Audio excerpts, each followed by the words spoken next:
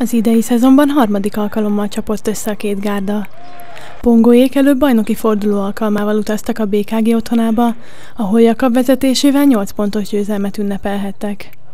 A második mérkőzés nemrégiben szintén Budapesten volt, a HEP kupa negyed döntőjében bő 20 pontos sikert aratott a Bácska, amivel kiharcolta a kupa négyes döntőbe jutást. Így nem mondhatjuk azt, hogy a vasárnapi találkozót megelőzve ismeretlenek voltak a csapatok egymás számára. Nagyon küzdős mérkőzésre számítottunk, ugye játszottunk már kétszer velük, de mind a kétszer úgy mentünk oda, hogy nulláról indulunk, és most is ezt terveztük, nem akartuk magunkat elbízni. A mérkőzés első percei kiegyenlített játékot hoztak, egyik csapat sem tudott jelentős előnyhöz jutni. A második negyedben azonban a BKG egy 11 0 rohamot követően meglépett a vendéglátók elől, azonban az etabderekára visszatért a bácska. Előbb kiegyenlített, majd a fél ideig a vezetést is át tudta venni. A nagy szünetet követően Nagy Daniék akarata érvényesült a pályán, percek alatt 10 pont fölé emelték a differenciát a két csapat között.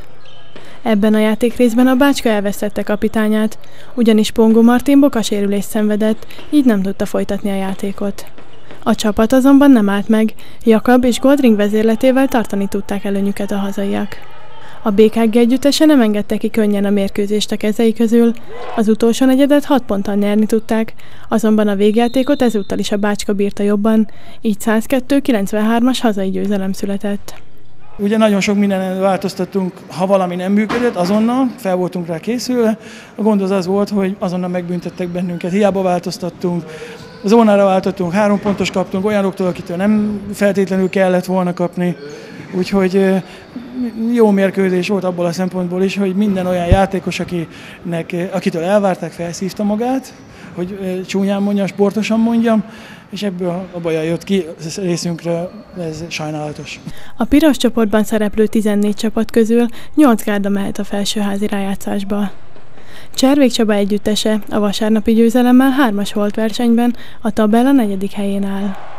A bajaiak vezetőedzőjével a rájátszás esélyeiről beszélgettünk. Hát igen, itt ahogy néztük itt az első három után, a többi ott bármi, bár két-három forduló után is változhat nagyon a, elég, elég sűrű a mezőny. Én úgy gondolom, hogy ha hazai meccseket tudjuk hozni, akkor, akkor a nyolcba bent, bent lehetünk. A Bácska legközelebb február 8-án szombaton a budapesti Honvéd otthonában lép pályára, majd azt követően a Hepkupa 4-es döntőjében Cegléden szerepelnek.